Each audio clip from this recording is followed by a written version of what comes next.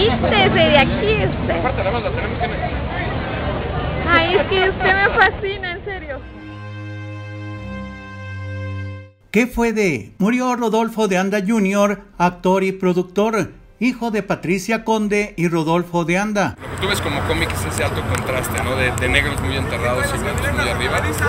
Y este... Rodolfo de Anda Gutiérrez, productor de la serie El Pantera y de las cintas Girón de Niebla y Los Temerarios, falleció este viernes 31 de marzo del 2023 a los 57 años de edad. La noticia fue dada a conocer por Alexis Ayala, actor y amigo del finado, mediante el siguiente texto. Querido hermano, amigo mío de vida, de aventuras, de sociedad, de todo, mi amigo y compañero de siempre, Rodolfo de Anda. Te voy a recordar siempre así en mi memoria, en mi alma y corazón. Eres porque nunca dejarás de ser un caballero, un guerrero, un hombre leal y amoroso, de quien siempre aprendí y a quien siempre admiro y respeto. Te amo, Taz, como nos decíamos, como solo tú y yo sabíamos por qué. Descansa en paz y que Dios te abrace y te bendiga siempre. En mí vivirás por siempre. Salud por tu vida y festejaré siempre el haber vivido a tu lado, que la última nunca será la última. Ante tal noticia, personalidades del medio enviaron condolencias y bendiciones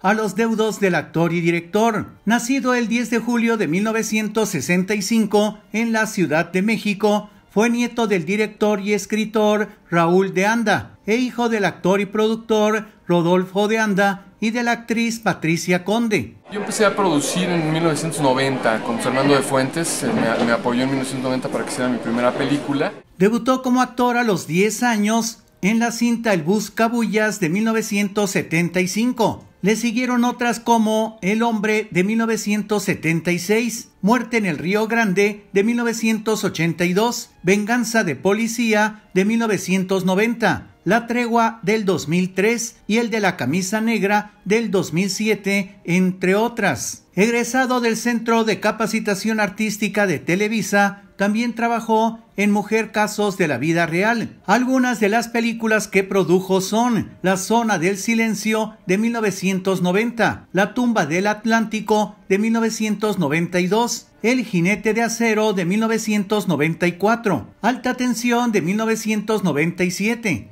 y Bienvenida al Clan del año 2000, entre otras. Junto a sus socios adquirió los derechos del cómic El Pantera y en el 2007, con Alexis Ayala, comenzó a producir la serie del mismo nombre para Televisa, la cual fue transmitida por Canal 5 hasta el 2009.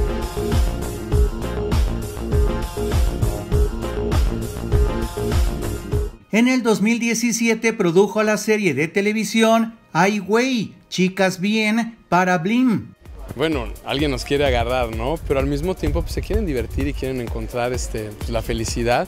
Desafortunadamente, desde el 2011 contrajo una peligrosa bacteria y enfermó de gravedad. Logró controlarla hasta que fue vencido. Descanse en paz, Rodolfo de Anda Jr.